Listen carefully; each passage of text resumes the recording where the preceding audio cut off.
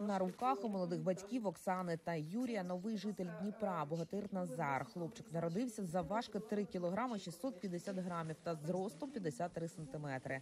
Поява його на світ, наче бій світла над темрявою, зізнається молода матуся. Потуги почалися саме в той час, коли вся країна залишилася без світла. Пологовий зал уже везли темними коридорами. Світа відключили, е, підключили як, ну, якусь розетку одну від генератора. І врачі навіть фонариком світили. Був підключений е, світ, е, ну, лампа, і датчики до мене під, ну, підключені, все. Це від одної розетки було підключено.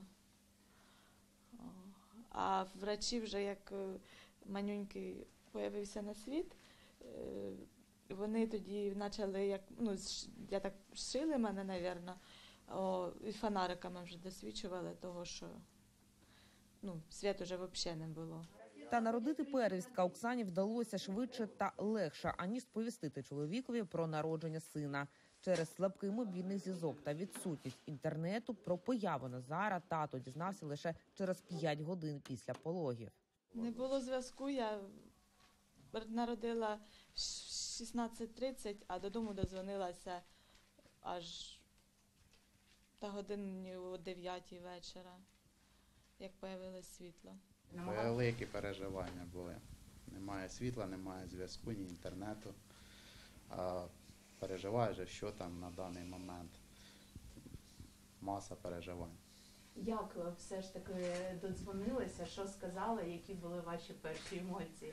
О, дуже радісні. Дуже радісні, все добре. О, тоді вже стало краще і легше. Бо дякую, звісно, лікарям.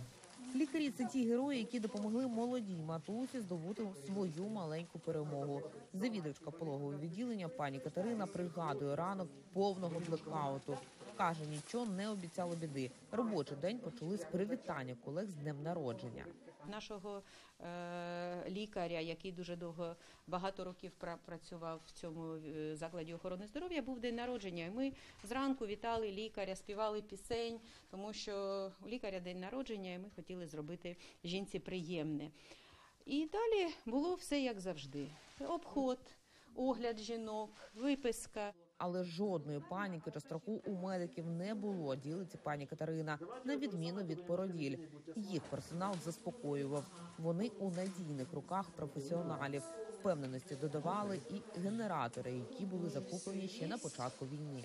Хоч ми і не чекали, що таке має статися, але ж підготовлені були до цього випадку. Буквально десь впродовж трьох хвилин ми вже спілкувалися з генеральним директором, і впродовж трьох хвилин в нас в пологовому будинку вже було живлення. Тобто, е, навіть якщо в нас були Вкрай важкі пацієнти, е, ми б їх не втратили, тому що електрика і живлення в нас вже було.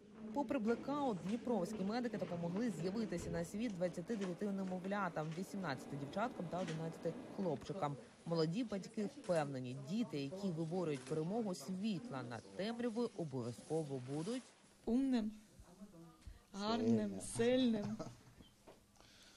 Е, Все буде добре. Да. Здоровим. Да. Головне, аби було здоров'я.